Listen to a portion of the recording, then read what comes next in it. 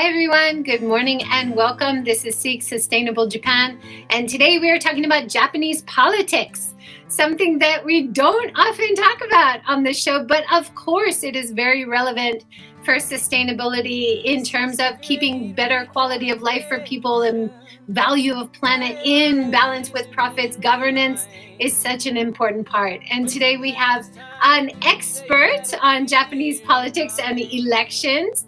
Uh, Donna Weeks, thank you so much for joining. All Well, Donna, you've had such a long and interesting career in Japanese politics. You were teaching for a long time at a Tokyo University about political science and peace studies.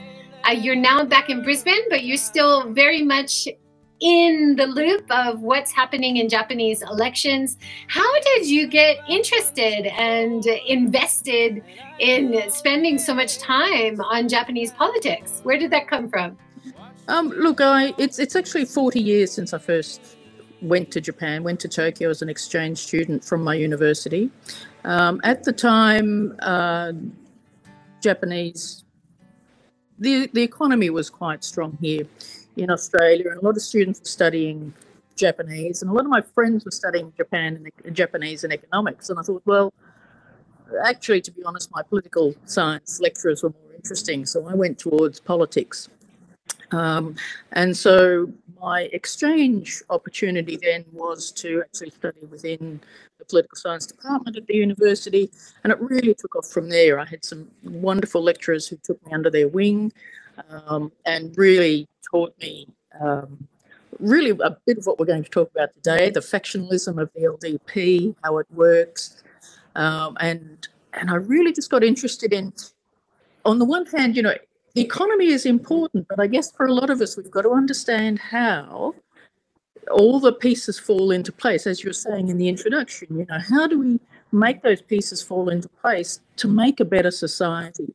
And it's not just the economy, as we so often hear, but it's the politics, the interplay, the power relationships that I, I came to learn were quite important. And so that's that's where I started, and that's what I've really been doing backwards and forwards over the last uh, now 40 years. I hate to think of it like that, but yeah, it's 40 years. Wow, incredible. And I'm sure you've seen so many changes uh, over the years since then. Now, today we're going to talk about the top seven uh, candidates who are very likely to be at the top of the ticket uh, for the president of the LDP, mm. who will, because the LDP is empowered, they will become the prime minister. Um, but let's talk about Kishida, Prime Minister Kishida, a little bit because he is stepping down, and it was kind of a sudden decision. Um, it sounds like uh, there was a lot of kind of uh, conflict within the party. There was things about not declaring how much uh, donations you were getting during um, the elections, and other kind of scandals were happening. He he has, in my terms, he's he's been a great prime minister. He is from Hiroshima. He came back and did the G7 here. He seems to have a very good international collaboration uh, level. But in terms of Japan, there's a lot of resentment against the party and and him in particular. And I think stepping down was a way to kind of mm. diffuse that. Maybe. Mm. What do you? What's your take on that? Yeah. Look. Um, clearly, I think at one level the pressure of trying to balance what he wants to do with the economy, what he wants to do with uh, international relations, um, came up against this constant, you know, opinion polling that that, that had uh, its popularity down, the LDP taking hits all over the place because of um, the money scandals, and I guess one reason why I've stepped back a little bit from the nitty gritty of the factional and numbers aspects of politics, I want to step back a little and understand this in a in a broader picture. And I guess things like opinion polls, um, that have come become so much a part of our politics wherever we are. It's the same here in Australia. It kind of turns politics into a kind of a horse race approach. You know, who's ahead, who's winning, and so on. And and I think that's not a good way for us to deal with our politics. You know, there's we've got to dig much more deeply um, into what policies they're about. What are their philosophies? What kind of society do the politicians want to drive ahead? And what kind of society do we want? So, for me, I think we've, we've had this tendency over the last several decades now to, to have our politics determined by opinion polls. And in a way, this is what's happened with, with Kishida. So I'd say that's the first thing. He's probably just, well, without this popularity, without, without opinion polls going up, what chance do we have? So in one way, maybe he stood down thinking it's in the best interests of the party, let's just say. Now, when Kishida came back in, uh, came into power, um, uh, you know, three years ago, I think there was it was a little bit of a surprise, to be honest, but it was only the fact that Abe's uh, factional numbers got behind him to to put him into uh, the position. And I think after the Abe era, which for a lot of us who want a gentler society, a, a more a, a, less militaristic society, shall we say, I think there was some hope that with Kishida, with, as you say, his background from Hiroshima, his very strong anti-nuclear weapon stance coming from that Hiroshima um, experience, the fact that for some of us his factional lineage goes back to Prime Minister Ikeda Hayato as well. Gay, uh, and he was seen, I suppose, as at some level as being a bit softer, uh, not as hard line as perhaps some of the other candidates. I think at that point there was some anticipation, and he brought in a new capitalism idea for his um, economy. Um, for the economy, you know, again going back to his Ikeda lineage, there was there was some hope and anticipation that, well, actually, maybe Japan's just going to come back a little bit more to the midstream. Now, that really did change dramatically with the um, shooting of, of Abe, and I was really interested to see almost the change in Nikita, in uh, in Kishida's demeanour as a result. Obviously, it was a huge thing for all of us to, to deal with, but the fact that I think that changed Kishida, it brought him out to say, "Well, I've got to carry on the Abe legacy," which meant he had to go quite a distance, quite in a different direction from where he'd come from, what he was saying, um, and I think from watching him over the last three years he's tried to straddle that from Hiroshima. I have a nuclear, an anti-nuclear platform I want to pursue. I want to keep this Ikeda legacy going, but also now seeing where Japan has to go and the build-up of um, the defence and, and so on. It, it, it really, I guess, saw him have to really struggle, I think, with these two, two aspects. And I guess in the end, um, he was unable to really do either of them well enough because he was divided on the two two aspects he could have pursued. Yeah, well, that that makes sense. But also in Japanese politics, we might see him come back. Uh, we saw some prime ministers make returns, uh, right? Come back sure. in power. It's sure. it might not be the end, and and surely he will have some sway uh, inside the power uh, the party as well. What do you think? Mm. Yeah. Uh, should we talk a little bit about who looks like to be the the seven possible candidates for the next president of the LDP, mm. and then that would automatically become who is going to be the prime minister, right? Mm. Um, let's talk about some of the more obvious candidates first. Uh, Taro Kono, can you give us a little insight into his his uh, political sure stance? Yeah. Look, and, and I'll I'll qualify this by saying we still don't know who is going to stand as yet. There's still a formality of getting the, they have to get their 20, um, endorsed by 20 members of the parliament. Um, that is still a few days away before they formally announce. So, like everyone, we're, we're sort of speculating here, and I guess my role as political scientist, I don't like to speculate too much. We like to look back and make judgments rather than go forward and speculate too much. But look, there's certainly some um, names there that I think will be on the list uh, come the end of the week. Uh, Kono is one of them, and you know I'm at that stage in my life where I was studying politics when his father was in politics, you know, same as Abe's father was foreign minister. And so I'm going through this whole how we go.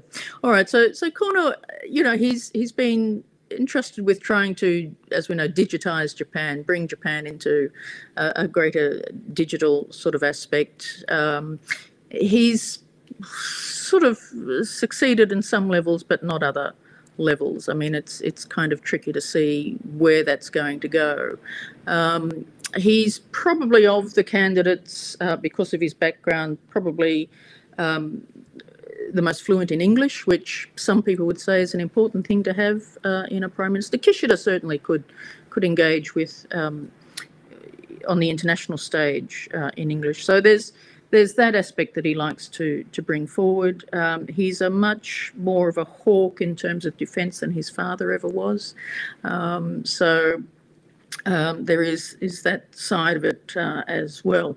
he would give himself a good chance because he would think he is popular, but whether he can um, draw that that popularity from where he needs the votes is is another thing.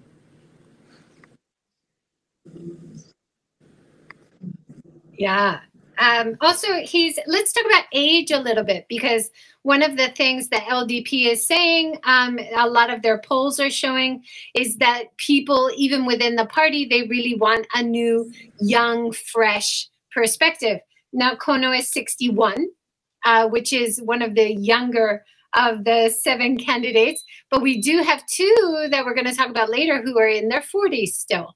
Um, so that's that's an interesting shift in in the election this time, don't you think?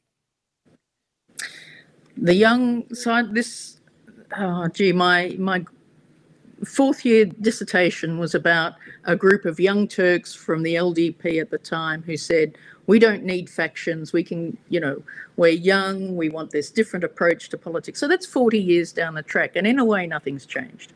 Um, you know, we, have certainly got a couple uh, in that category uh, this time. Um, Koizumi, let's talk about him because he's quite popular with um, the public because his father was a popular prime minister for all different reasons. Now, what Koizumi Sr. did as prime minister um, you know, was not considered the best in some ways. Tried, you know, privatizing, uh, taking kind of a Thatcherite approach to, if you like, a, a kind of a neoliberal approach.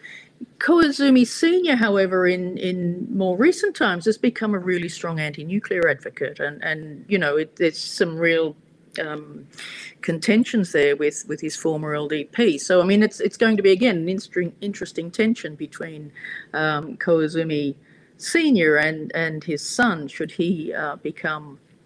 Prime Minister, it certainly does have uh, popularity. To go back to those opinion polls, some popularity in in trying to um, uh, draw the public's uh, popularity. That could be a factor you know, if they want to win uh, the next election. He's, I guess, his his youth, his age, um, gives him a sense amongst people that he's uh, uh, being younger.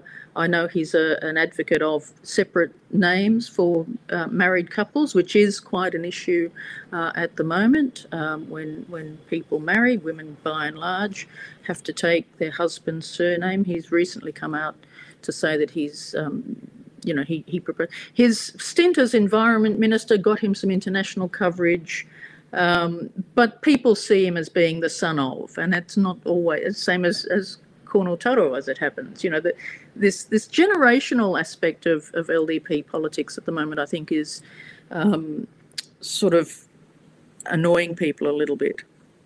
Um, the other young contender, shall we say, uh, Kobayashi, has has come up. He's got quite a profile. Um, again, basically on his youth, and I'm not sure that that's actually going to capture um, the factional numbers that they need uh, at this stage uh, to get the presidency and, and ipso facto the um, the prime minister. So Kobayashi is is coming again from that idea that we need to take Japan forward again on an economic platform.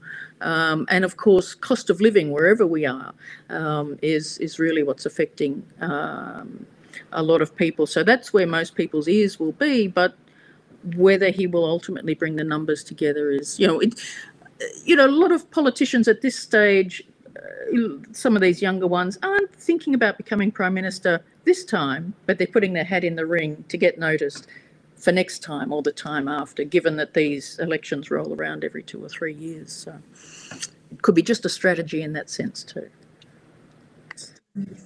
It's really interesting, isn't it, to see and and of course um, to have this idea that it's it's future campaigning.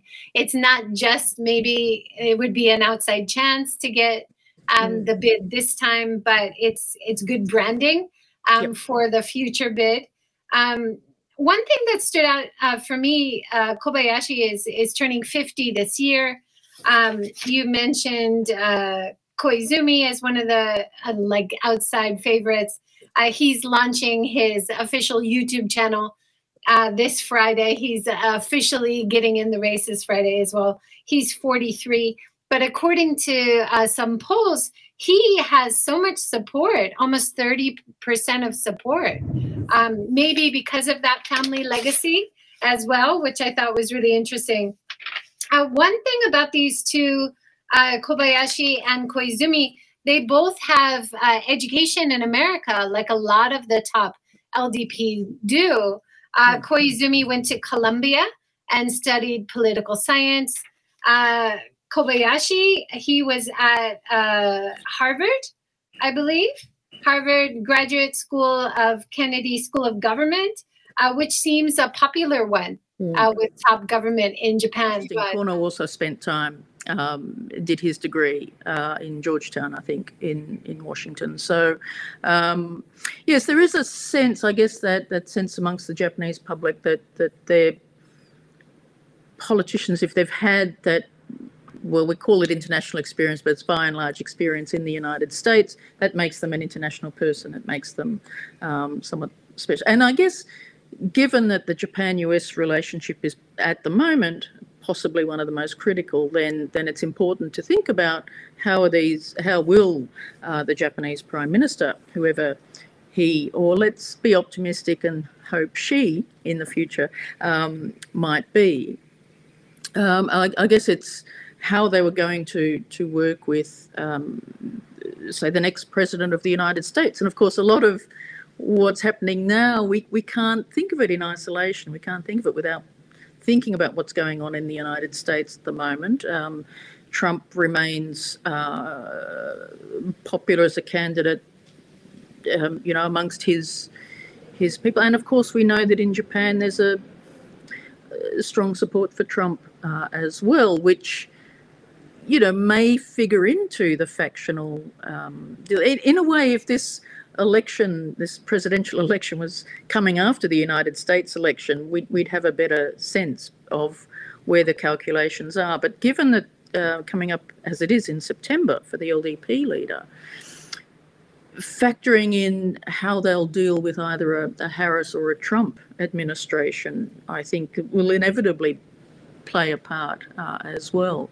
So someone who can um, work with and, and deal with um, the United States is going to be important. And I know we haven't got to her yet, but Kamikawa Yoko, who is also a likely uh, candidate, she's uh, a current foreign minister. Um, she's been, you know, working quite well on the international stage. Her, you know, um, her stint as, as uh, Minister for Justice a few years ago, you know, was was awkward and difficult and and and so and yeah, has its has its problems.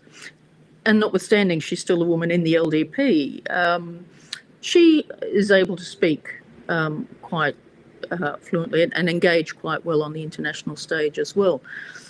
It does come back to that question of whether or not Japan is, you know, the LDP is is going to be ready for uh, a female leader, which given that the factional alliances at the moment, it's probably still a little bit too soon for that. The, the, the women will have to be head of their own factions before I think they can get the numbers as the system stands at the moment, unfortunately. Well, it, it was interesting to research a little bit about her. She's 70, which is uh, one of the older candidates, actually, of, of the group that's um, in the running right now. We haven't talked about uh, Toshimitsu Motegi and Shigeru Ishiba yet, um, but they're in their late 60s. So she's actually the eldest of the seven, it looks mm. like. Um, but um, she was part of the gender equality uh, group back in the past. She's been in three different cabinets, uh, Abe, uh, Suga, as well as Kishida. Um, so she's shown that she has political prowess. She has a lot of support within the party. Um, but, you know, when you look at, I don't know, this struck me as interesting um, that her hobbies are uh, Taiso and uh, doing ground golf and Nihon Buyo. And then you look at the younger candidates and they're doing marathon and they're young parents. Um, you know, that really stands out. If you're trying to signal that you've got a fresh ap- approach as a party, it's it's harder to choose an older candidate, even though, of course, choosing a woman would be very radical and very new for Japan. But yeah, the question in America right now is is America ready for a woman president? And I think with the the rise of Harris Walz, we're we're seeing yes, they're ready. Um, I don't know about Japan though. Japan, in many ways, seems to be a bit behind. Uh, you saw. Can you touch on this a little bit for the Tokyo governor's race because mm. that that was a big issue, and of course, a woman did win one of the most important uh, races in Japan. Mm. Yeah, look, that that was interesting. Coincidentally, I happened to be back in Tokyo that week. Um, you know, I'm probably about the only person in the world who who isn't a journalist who heads back to Japan to watch elections. But I had some other things to do. But I, I was there at uh, for the election, uh, the the Tokyo election this time. Um, and look, that was interesting. I mean, I was really interested in it because, of course, it was between two, ostensibly between two women, um, Koike, uh, the incumbent and uh, Renho, of course, with a long history in the Democratic, uh, the Democrat side of politics uh, in in Japan, and for quite a while there, it was going to be, you know, um, between those two, and Renho in the end just got pipped by Ishimaru, and I'm glad we've come to this part of the conversation because while I was there, what interested me is a how he sort of came out of nowhere, if you like. He he he came from another prefecture to come and stand as governor of Tokyo. Now, in Australia, for example, if you're not a local, um, if you're not local to the area, um, you know, we're not going to vote for you. What, what, what's this guy doing? Now, here he is. He, he sort of plonked himself and said, well, I'm going to, you know, come and do this whole thing to Tokyo. And he had that appeal to young people. He did YouTube, his uh, campaigning. So I, I, often go around and watch a fair bit of the campaigning as these uh, candidates go around. Um, was kind of dynamic. He was trying to make a point. He, I think he did something like 200 of the, um, you know, speeches and, and campaign speeches around the the traps, um, and he really, really stood out. Now, what struck me after that. Now, Renho was, was, you could see, was clearly devastated. I mean, this really came up, I think, and surprised everybody. But what I was thinking about afterwards, and I'm, I'm sort of putting together an article about it because I was quite fascinated in terms of how we run politics as as a horse race almost, or, or how we, we ignore the important policy aspects for what's on show. Because Ishimaru, in, in, the, in the week or so afterwards, in all these interviews and so on, people started thinking, oh, hang on, how did this guy get so high up? How did he come second? He's quite, he, he doesn't have a lot to say. He doesn't answer questions. He doesn't really have much in the way of policy. He just got himself up there in a kind of, you know, social media frenzy. And people sort of thought, oh, well, that kind of looks okay, without really going deep, more deeply into what he was about. Now, people knew who Koike was, uh, people knew who Renho was, um, but here's this bright, new, shiny person who's come up that that attracted people. Now, this is a direction I think that politics is taking that concerns me uh, greatly. And that doesn't mean I want to stay in in stodgy kind of old time politics. But for me, it's it's this is where I'm sort of taking a, a step back from the day to day of politics to sit and think about what this actually means for our politics in future and and what do we as citizens actually what we should be asking for, what we should be seeking. Um, from our politicians. You know, they come and they, they want our vote. But in between the elections, in between the campaigns, uh, you know, what are they what are they actually doing? Now, it seems to me that as a result of this in, in Tokyo, I mean, Ishimaru has himself you know, talking about sort of just throwing your head in the ring to see what, what comes next. He now wants to go and take on Kishida in Kishida's um, electorate in Hiroshima. Well, you know, and he said in one of his press conferences, well, you know, I'll just go and take on Kishida now, you know, I mean, why not? And I just thought politics is kind of not this sort of game, you know, and, and, we as citizens have just as much responsibility to make sure it doesn't become this sort of game that it seems to be coming. I mean, the, the, the, Tokyo, other aspects of the Tokyo election, I know we're not talking about that greatly, but the number of candidates, the way the, the electoral laws were abused, the, the, the posters and things, it was just, you know, if I wasn't actually there looking at it all, I wouldn't have believed it. You know, it was just such a, such a sad thing to see that politics, which is actually a noble profession, I might say, um, you know has has become this. And and to me it's that's where I'm, my work is heading now is is to ask ourselves these really big questions about how can we do better? And it's not relying on on politicians. They're, they're simply our representatives. You know they're not they're not great celebrities or anything. They're, they're our representatives working for us. So how do we rekindle that the importance of our relationship with, with politicians that um, I guess I'll be, be working on in, in the near future. Those are such important points. And I think uh, we're thinking about that a lot in the American election as well. Not only who's the most popular, which is really important, but who can get things done, yeah. right? So when you look at these younger candidates, um, thinking back to uh, when uh, Koizumi was environmental minister and he was making a speech at COP, and it was very clear he didn't really have the autonomy to mm. talk mm. freely. And it, it made me really think, wow, who really has power about policy? It's not really the prime minister, it's not really the elected official who's talking often, right? So that was one of the things I, I thought when I was listening to Kishida that it seemed like he did have more autonomy and freedom in how he was speaking with real uh, conviction.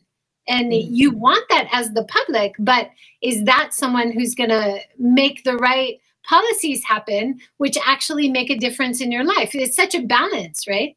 Yeah, yeah, yeah, most certainly. And I think that's I mean, I in, in political philosophy, we have this idea of the social contract, which has been around for many, many, well, centuries really.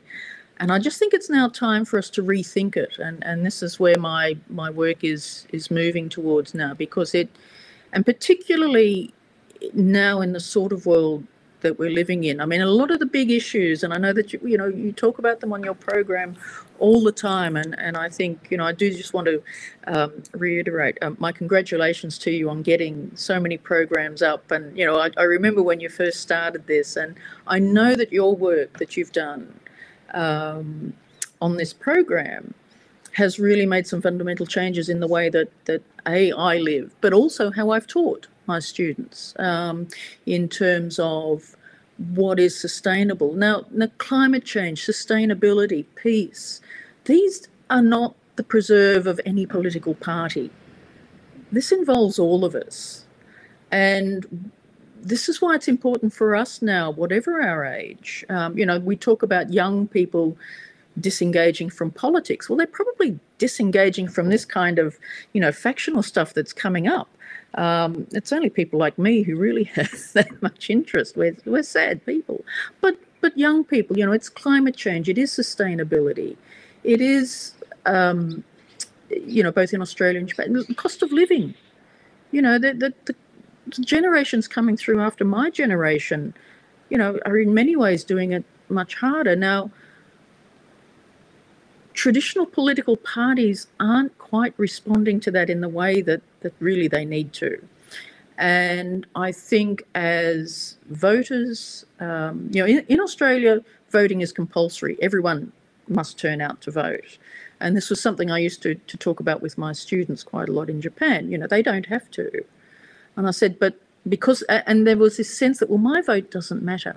I said, well, okay, if your vote doesn't matter, if you're not voting, what are you doing to try and get politicians to hear what you're saying? Do you go out and join, uh, go and listen to their, their street campaigns during elections, you know, when they're on top? No, why would I do that?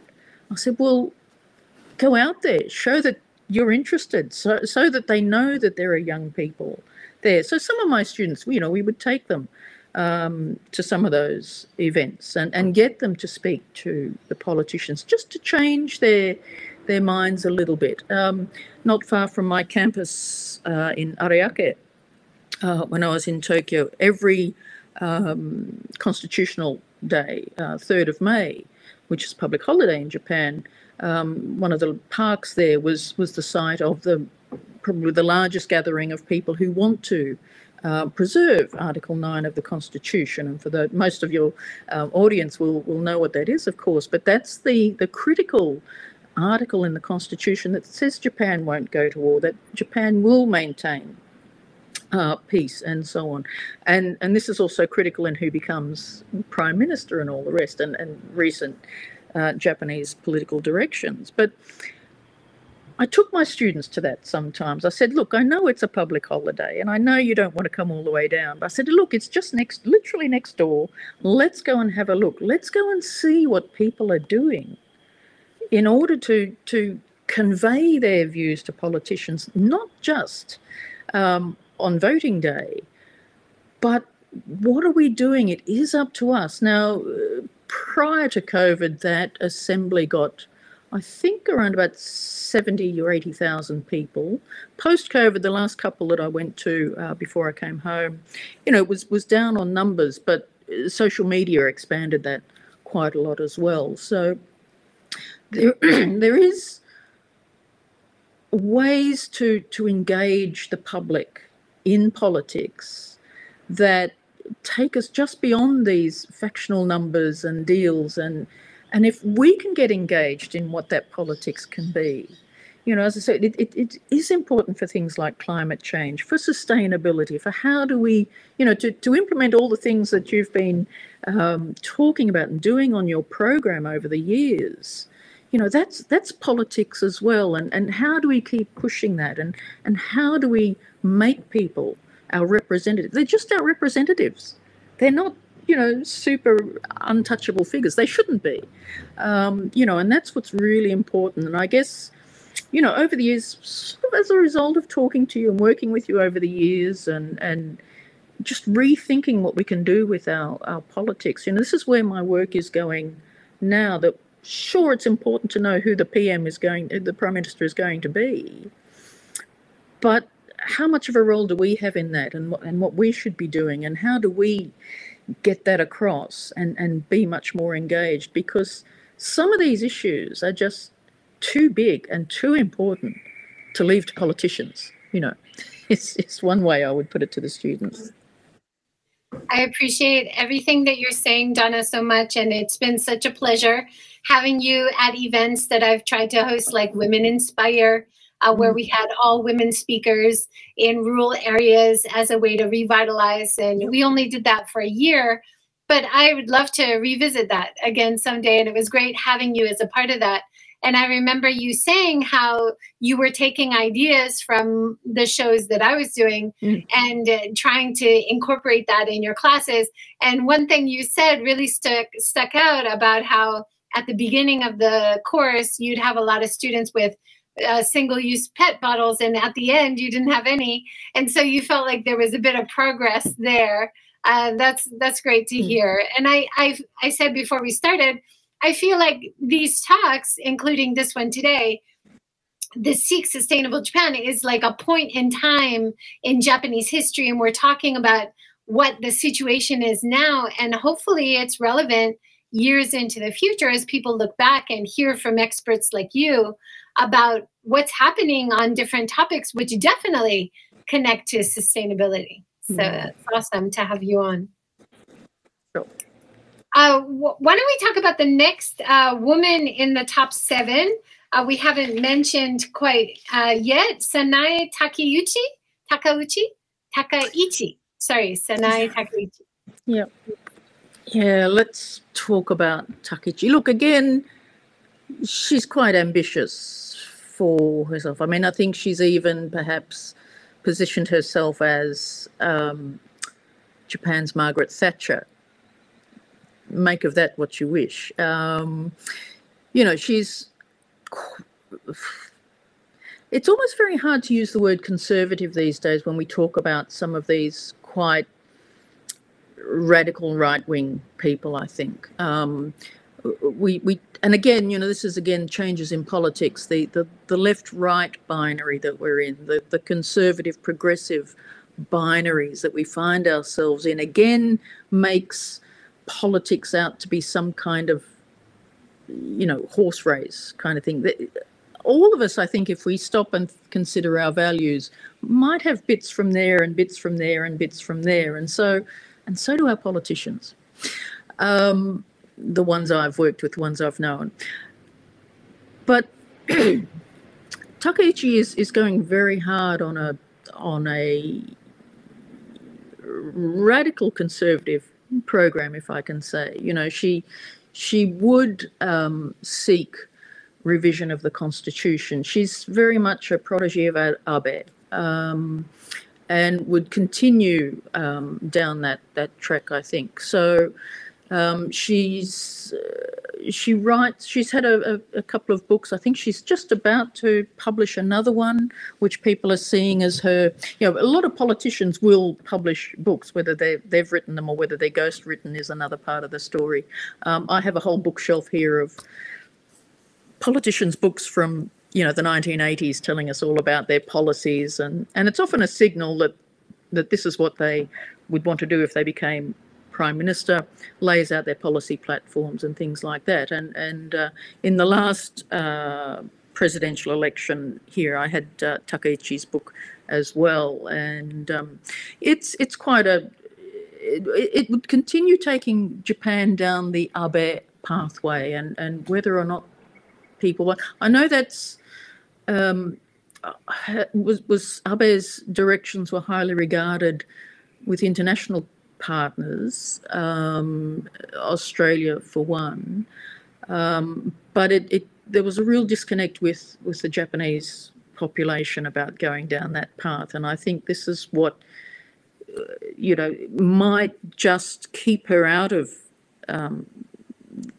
the race because she's quite well known for being that very radical. I mean, if if if they were to choose a woman, the pragmatist in me would say they'd probably choose Kamikawa before they chose Takaichi, simply because of her very, um, as I say, radically conservative. I don't because she's she's not conservative. She wants to change lots of things, but very much uh, on on the right sort of right hand side of uh, politics, I think. So um, again, she's she's in her sixties, um, and uh, even with that, has been elected nine times. So back in the 80s and 90s, it was very easy to pick the next Japanese prime minister. It would usually be the number of elections they'd, they'd successfully stood for, number of times they'd been elected.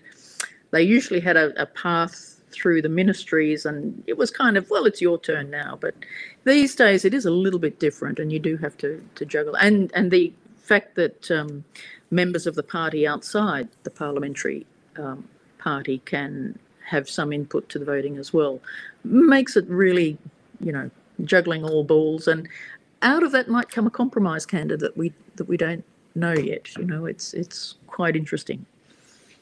So it really seems like this is the week when a lot of candidates are are mm. making their yep. their announcements officially. So we we're just guessing on who the top seven uh, possible candidates are.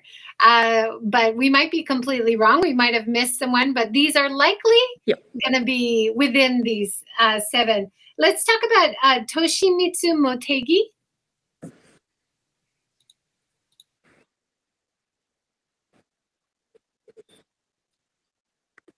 Okay, well, again, under the old LDP, Motegi is someone who would have anticipated that because of the career path he's taken through the party, you know, it would be my turn at, at some point. Um, and so, you know, he's held some of the significant um, positions in the party. He's been, um, you know, spokesperson uh, at times. Um, he's the one as Kanjicho, as as you know, one of those significant positions in the party where he might try and pursue and push particular policies and and so on. It's the the positions he's held previously would be considered some of the significant um, powerful positions in the LDP that as the party president, the party leader, um, members of the party would have expected uh, he would have had, which might edge him ahead of some of the others who've still only held positions at the ministerial level. To hold these two or three key party positions is often considered you know, really important as far as the experience goes uh, and, and what he can do. Again, I don't see many of these people like Motegi or Hayashi, who we might talk about as well, stepping out of that you know, I, I think the Abe influence is probably going to remain. We've seen with Kishida, he couldn't get out from under the Abe shadow. And, you know, Abe changed the rules, you know, from, from only having two two year terms to to extending that to th- first to three year terms and then going beyond the two year the, the two term limit to another term.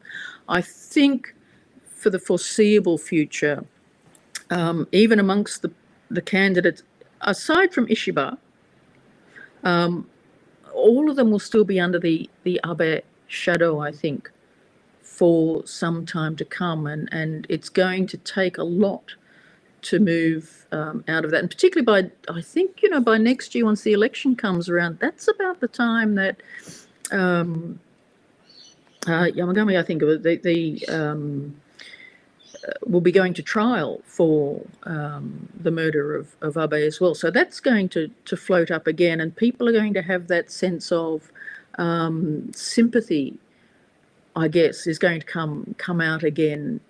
Uh, you know, all those factors might might come into it, and I think that might be um, used as well. So it's um, yeah, I, I, I just still feel that the uh, for better or worse, the, the shadow of Abe, people will want to continue his legacy. People will want to see that. Even though I think there was a point at which, just a few years ago, we might have pulled back a little bit from the very pro military line that, that Japan was going down. You know, Suga um, or, or Kishida might have been able to pull back, but I think uh, the shadow shadow of Abe, I think, will uh, will keep things you know, in that direction for a few years yet. Mm. Yeah, um, talking about Abe a little bit, you've probably got lots of insights. Um, he really changed the party and Japanese politics. He's well remembered abroad. Uh, people often talk about him. He, you know, is is remembered as I think uh, being next to Mario to accept the bid for Tokyo Olympics. Do you remember that scene? And yep. so he had that kind of um, easygoing, kind of join in the fun side, mm. but also he, you know, is connected. Even his murder is connected to the scandal, which Kishida is stepping down for, for uh, people taking donations, especially from this uh, church, which is maybe not really a church. And mm. Kishida has worked hard to declassify that church, which is more like a cult, and telling people in the party to cut their ties. Um, so, you know, there's a lot of positive, but also negative about Abe's legacy, and uh, definitely still connected to current politics, right? Yeah. yeah, certainly. And I mean, I have to say that it was Abe coming back, or the LDP regaining power in 2012. Um, which actually got me thinking about I probably need to get back to Japan to see what's going on now. I, I did again because I'm probably the only election tourist in the world. I did happen to be back in in Tokyo to watch the 2012 election. Now this, of course, was the very important one. Was the one after um, the triple disaster in Tohoku. Um, people were clearly disappointed with, with the way that you know was the Democratic Party in government, but people were, were so quick to blame them, uh, led by Abe, I would say. You know, the, his his Nihon no Torimodosu, um, the slogan that they used for that particular election. You know, let's let's take Japan back had a double meaning. You know, it was like, well, let's after this disaster, let's you know pull Japan together again. But and I still remember this, and I think this was the the uh, trigger that made me want to come back to Japan more long term. Uh, it, it, took a few years to get back, but I eventually got back. We were sitting there, I was with my friends, and we were watching the press conference afterwards, after the election, after it was clear that, yes, indeed, the LDP were back in power in 2012. And it was about 11.30, 11 o'clock at night, I think, his press conference. And he sat there and he said, well, now this gives us the mandate to change the constitution. And my friends and I, I said, did he just say what I thought he said? And my friends who were not LDP supporters, I, I would say, said, yeah, where did that come from? Now, this was something that had not been spoken about in the election at all. Um, and in any part of the campaigning, I thought, now there's something going on here. And of course, subsequent years, uh, Abe's idea of Nihon no Torimodosu became quite clear. They went back to Meiji era leaders, you know, the late 19th century, early 20th century leaders, when Japan was, you know, becoming a big, you know, power. Um, and I thought, now this is going to be an interesting few years if if Abe is able to see that through. So it was in fact that you know I can't remember I, I can't believe I remember these things, but it was in fact that particular press conference that made me think something is about to change uh, in in politics, and indeed, so from effectively from 2012 um, through to the present, and that's why we say, you know, Abe's influence is going to to continue. Now, you, we can't talk in hypotheticals very much either. But I mean, if he hadn't been shot, if he was still alive, certainly his he, he may have come back to the leadership again himself, you know, for a third time or, or some such. Um, he, he probably would have maintained quite a, a strong uh, factional um, power. And indeed, what's to say how much of this tie up with the Korean religious group would have actually put him in, you know, um, give him less influence is is hard to say. But the fact that this all came to head once he was shot, once he was killed, um, and the way the parties tried to deal with that since, there's still a great skepticism in the public. But what's that? What that's actually has done is is made the public more skeptical about politicians, and unfortunately, probably back to well, what's the point of following politics? Or you know, these politicians aren't really listening to us anyway. So we're at a really interesting um, juncture, I think, in in politics at the moment. I mean, as I was thinking about today's talk with you, I thought, you know, sometimes the beach cleans that we go and do, and we find those. I thought, what's the best way to explain this? You know, we find those fish nets, and they're they're they're just all tangled, and there's bits and pieces in them. I just feel that over the next few weeks, what I'll be doing is taking one of those great big balls of, you know, fishing, fish netting, and and so on, and trying to to unpack it because that's really kind of where we're at with with this given the overlay of the US presidential election as well i mean it's you know it's for me it is a fascinating time but you know we, we can't necessarily um, put uh, put our predictions out there at this stage you know yeah. I've just asked the audience a question. Now it looks like we have a few people there. Uh, which candidate do you think should be put into power? As the next prime minister in Japan. It'd be interesting to hear your insights as well. Uh, Donna's got the very political scientist. I'm not going to make a prediction kind of theory here. Um, I appreciate that as well, but it'd be fun to hear what the audience is thinking. Um, now, there's one more that we haven't really covered, and he might be one of the front runners, uh, Shigeru Ishiba. Mm, mm. Can you talk about him a bit? Well, Ishiba is kind of the candidate that I think a lot of people would like to have because he's not, uh, but he's, he's kind of the, the LDP's internal critic. Um, some would go to, as far to say he's, he's kind of the LDP's conscience at the moment. Um, he's probably again in those who do you want as next prime minister polls that the, the newspapers do um, at the moment. He's he's probably generally tops that um, poll. Interestingly enough, now he himself, you know, again he's been elected 12 times uh, or something. Or, although interestingly, he's, he is a few years younger than um, Kamikawa. He's uh, still only about 67, 68. Um, he's held again the range of, of political roles uh, and ministerial roles in the party that would have given him at another time uh, a certain trajectory to become uh, prime minister.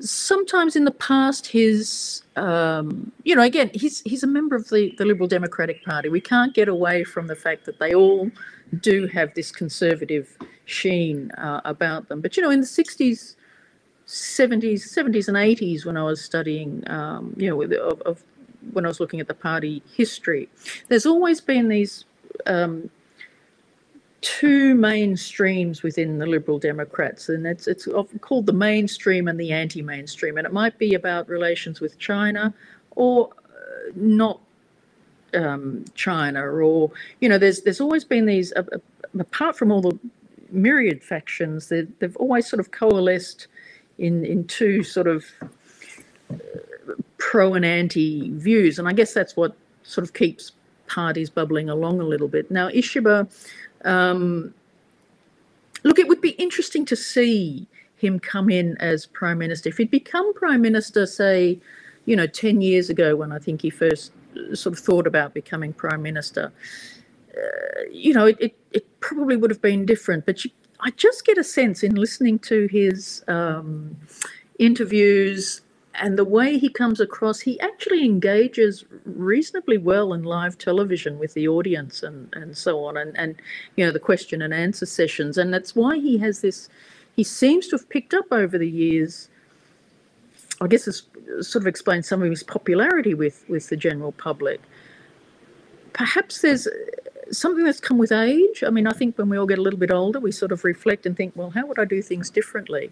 I just get that sense that he he would be a different prime minister now compared with what he might have been 10 years ago and I I think he might be I think he's got enough experience you know having been elected you know 12 times where as we are talking earlier about Kishida having that problem trying to straddle the what I want to do versus what I must do. I think my, my sense is just looking, watching Ishiba quite closely over the last few years, he just might have that, what would you call it, a, a, a kind of a calming or a, a kind of a stabilizing of not being quite as radical as as what Abe had planned, but but not, you know, being entirely conservative at the same time you know so i think you know to answer your question do i do i um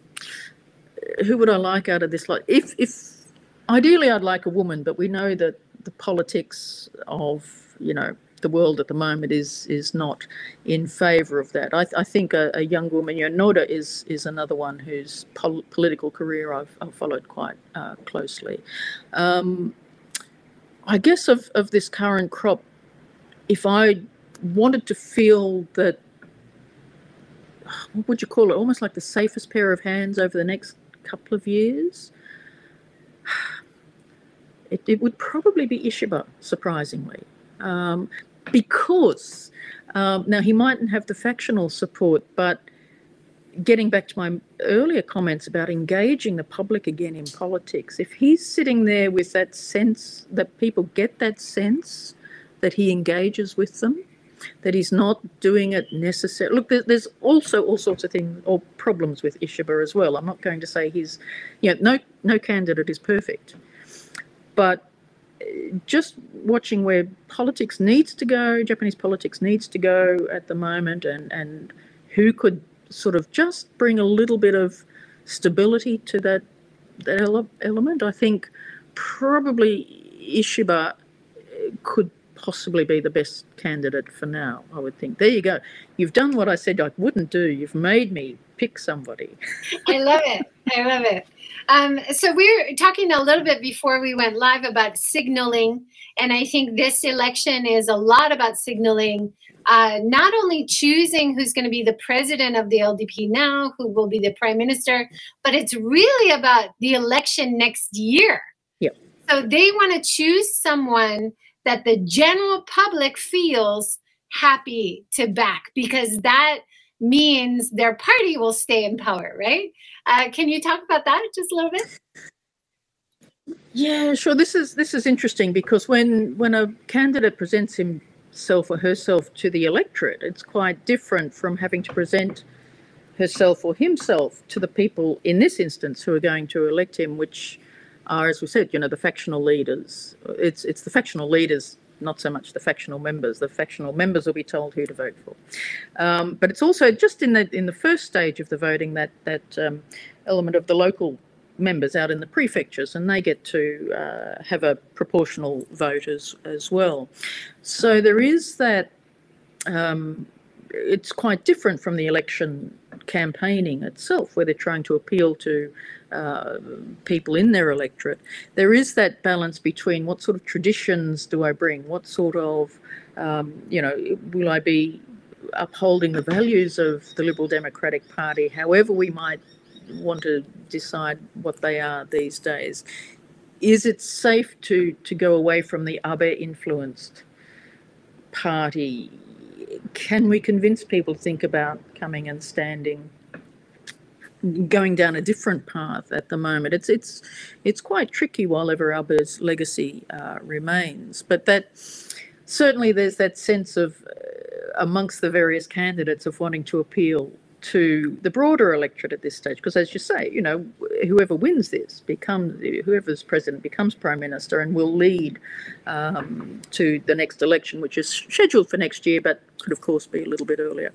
Um, so again, speaking to my students over the last eight years or so from teaching, you know, they all have this sense that, well, the LDP only listens to the older people anyway, and it's only the, the, the silver, which a little bit of silver here, but, you know, I don't vote. Um, you know, it, it's a very much a silver democracy, as a lot of students would talk about, that the LDP was really only appealing to um, those people the older people who will vote. So whether or not Koizumi, Kobayashi can appeal to the younger people, get them to vote as well. Um, you know, that's that's remains to be seen. But they're all going to say, you know, it's interesting that you said, you know, uh, Kamikawa's um, interests include Rajio Taiso. I think all of us, you know, who have been park around 6.30 in Tokyo will see that that sort of going. And that's got a kind of appeal, I guess, for, for some people. Um, you know, Koizumi coming out and saying he's in support of um, uh, keeping your surname once you're married and so on. You know, that, that is a really important issue for, for a generation as well. So um, it's it's hard, I guess, to, to try and sort exactly where the appeal um, should be. So, yeah. Yeah. Well, that is our hour. That went way too fast, Donna. Thank you so much for joining and adding all of your amazing insights. Um, we've got a, a couple comments. Uh, Darren on LinkedIn, thanks for joining. He says, I do like Koizumi's understanding of the importance of a circular economy. Yes, the understanding and the focus and the transparency about mm. the need to balance environmental needs as well as economic needs is certainly something we want to hear more about. It's such a pressing issue. We're having yet hottest ever weather all over the world, including Japan, lots of environmental issues, right?